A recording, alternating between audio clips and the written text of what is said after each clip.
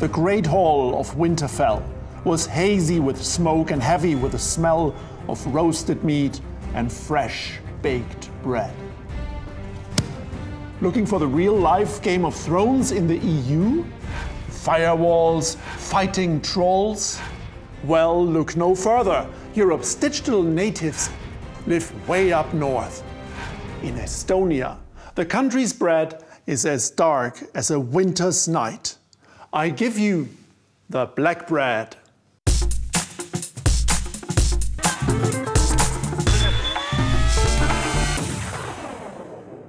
By using its loaf, Estonia has positioned itself as Europe's digital leader. You can set up a company, do your tax, and even vote online.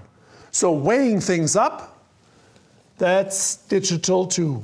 Wholemeal rye flour is the key to this dark net loaf. Plenty of fiber keeps things moving at high speed. Now for some seeds pumpkin and sunflower. Leave them to soak for 17 hours at 24 degrees, just above room temperature. The warmer the atmosphere, the faster things go. A bit like at EU summits. For example, when German Chancellor Angela Merkel needed a favor from host and fellow statesperson Jüri Ratas. Uh, when will you finish? When will you finish? I think we will finish at 6.50. You can't finish at 6 no, no? Of course we can't. Five minutes later, If it is all of you suitable, let's try to end the session at 6 o'clock, 15 minutes earlier. Keep things cozy and you'll be done in a jiffy. And that goes for your black bread too. High speed internet, 5G networks across the continent, a coordinated European cyber defense. Since joining the bloc 15 years ago, Estonians have pushed EU nations to up their digital game. so work your dough hard for 15 minutes, one minute for every year in the club.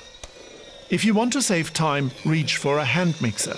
Stirring will be shortened to 8 minutes, the same number of years Estonia has been a member of the Eurozone. Feel the banknote.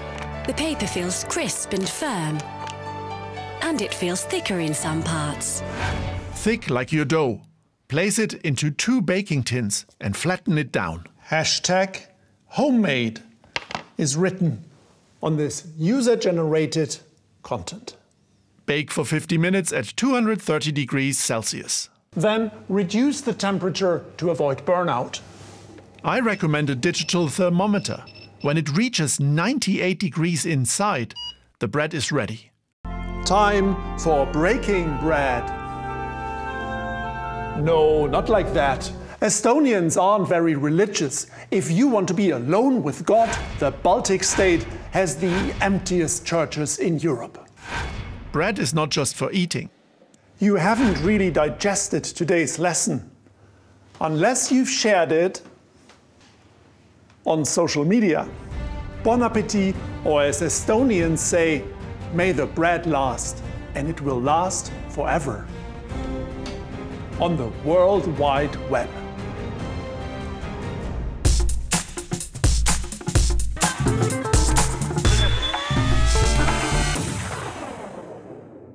If you've never made a sourdough starter before, click here for instructions.